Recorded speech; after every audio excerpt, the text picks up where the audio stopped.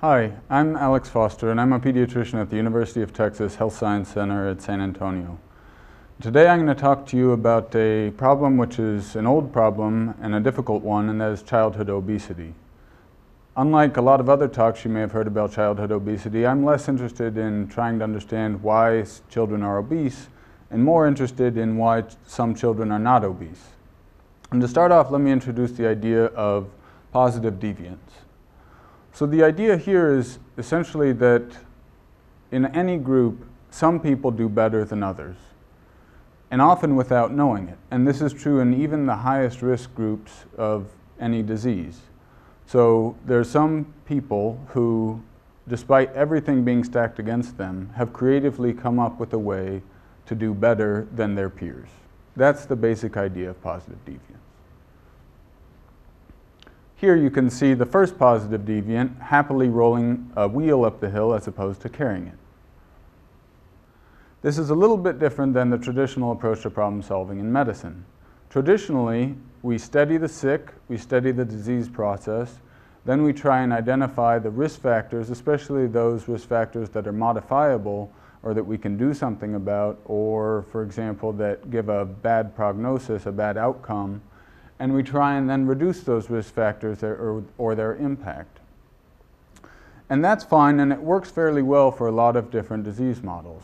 Asthma is a good example, breast cancer is another, but it may not work all that well for obesity. And I'll get into a little bit as to why that is. So this is a boy. Uh, he's five years old. We can call him George for this case. And you may not be able to tell exactly, but he's obese.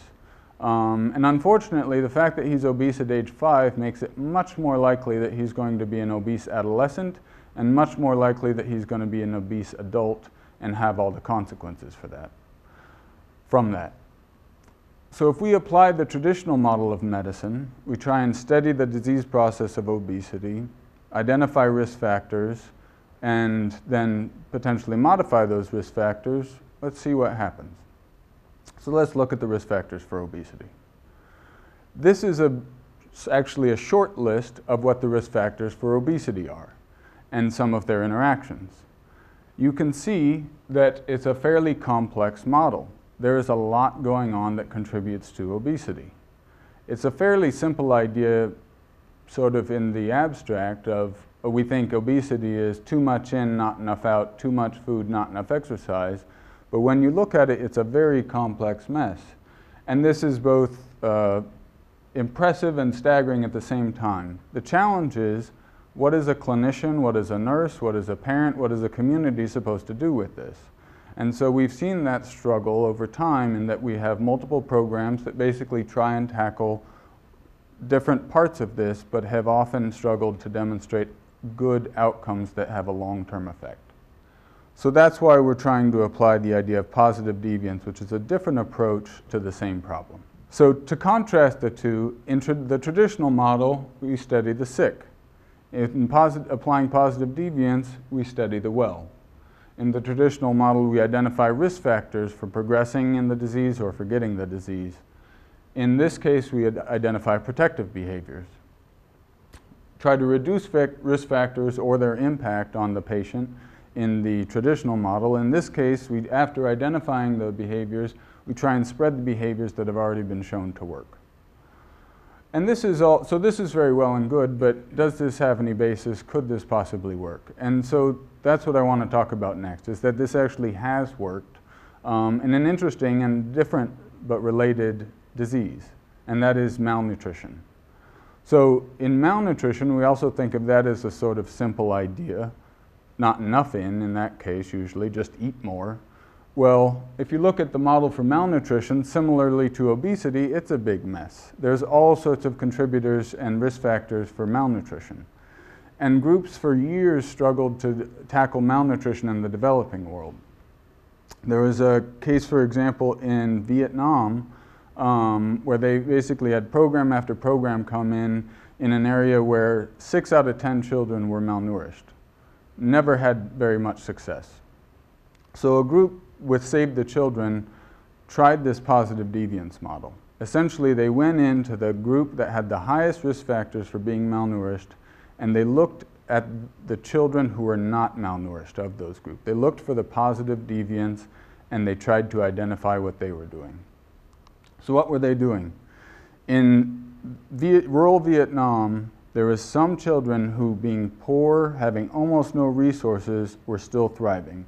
Those parents, parents of those children, were feeding them shrimp, snails, crabs, and the greens that they were able to find in the fields, which was not typical. This was not the traditional sort of rice and other traditional vegetables, but, the, but it was working.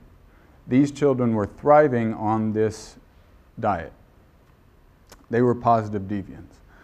The amazing thing about this was that after identifying these practices and spreading them through the rest of the community, they were able to show they were able to reduce malnutrition in that community from 6 out of 10 children to 2 out of 10 children, and that success was maintained for three years, and then for the three years that they were there, and then it continued for five years after that without them having to do anything. If we could say that for obesity, that would be remarkable, but no program to this point has been able to do that. So what if we think about South Texas and early childhood obesity? If you look at parts of South Texas, there are children with nearly every risk factor for early childhood obesity, but not all of them are obese. There are positive deviants living in South Texas who have every risk factor, living in an environment with lots of fast food, having a lot of access to sugar sweetened beverages, having is uh, depicted by the traffic basically that was an attempt to depict uh, not much activity, not access to uh, pl safe play places, having too much screen time. There's children with all of these risk factors that are still thriving and their parents have figured out how to make them a healthy weight and thrive. What we're doing is trying to identify these positive deviants, partner with them, and then spread their practices to create a sustainable model for effective obesity prevention and intervention in South Texas. Thank you.